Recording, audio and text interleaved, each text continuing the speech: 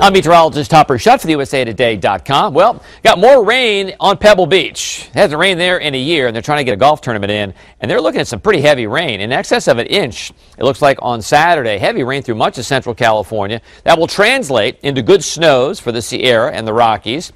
Got snow showers from the Midwest to the Mid-Atlantic nothing heavy, kind of conversational. And then morning rain and showers in the uh, southeast. So here's the big picture. We got this system essentially passing through the southeast, not going up the coast. So it's not going to be a nor'easter. A little bit of snow shower activity uh, back into the upper Midwest, parts of the Ohio Valley. But the main event is out here on the west coast. That's a big, big little area of rain from northern and central uh, California. Again, like one inch to one and a half inches possible. Snow in the Rockies. Now that is at 10:30 uh, Rocky Mountain time in the morning. And here goes the system on Saturday, pretty quickly on out to sea. Some lingering snow showers with a second little system.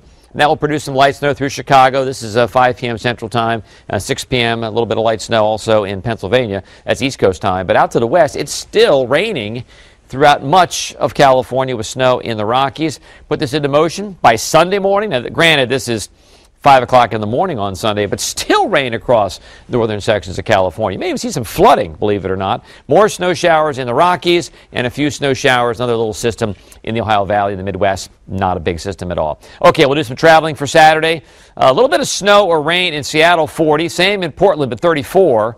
Reno, 54. 58 more rain in San Francisco. Can't quite get the rain to Vegas or Los Angeles. Temps in the 60s, 73 in Phoenix, 67 uh, in uh, El Paso, Albuquerque in the 50s. Denver, nice day, sunshine 47. Relatively cold in the northern plains, 8 in Bismarck, 15 in Pierre, 18 in Minneapolis, a little bit of snow in Des Moines, a little bit of snow in Chicago. It's kind of freshen things up a little bit, but not very much in terms of accumulation. Low to mid 30s for Kansas City, St. Louis. Dallas back to 56 after some more winter weather on Friday. Around 60 in the Gulf Coast, but sunshine. You get over toward Birmingham and Atlanta and Jacksonville, rain.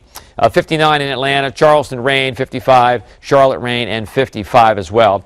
Up to the north, just some snow showers possible in Pittsburgh, in much of the mountains of the Appalachians of West Virginia, Maryland. Maybe a, maybe a snow shower late in D.C., a little better chance in Baltimore or Philly. Probably south of New York and south of Boston, temps in the low 30s. 20s, but sunshine in Burlington.